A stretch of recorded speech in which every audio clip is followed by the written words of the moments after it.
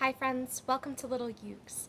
Today I am so excited to teach you the easiest ukulele chord and the easiest ukulele song in the world. So to get started, go ahead and hold your ukulele against your body. We're going to put our left hand on the side with the fretboard and this long neck. And we're really just going to turn our hand into a little support or a little holder. We're not going to use any fingers from this hand at all. We're just going to make this a little rest for our instrument.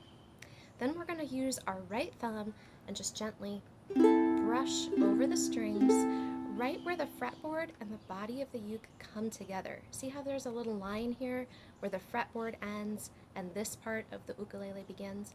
That's where I'm going to brush the strings.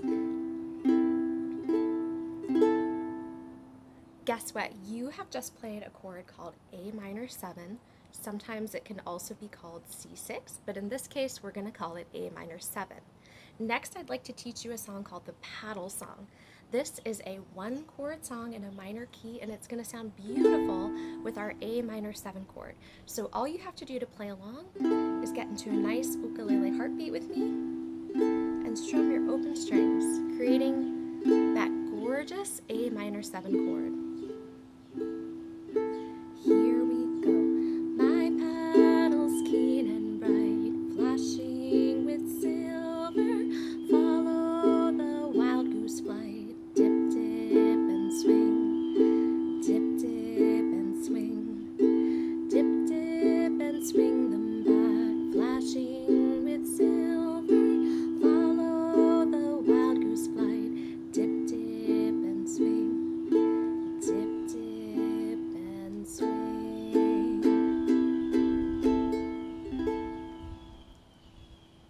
Bravo, friends! Isn't it amazing what we can do with just our open strings? We don't even need our left hand to play so many beautiful songs. If you liked this video, I will link in the description to below to lots of melodies that we can play with our open strings.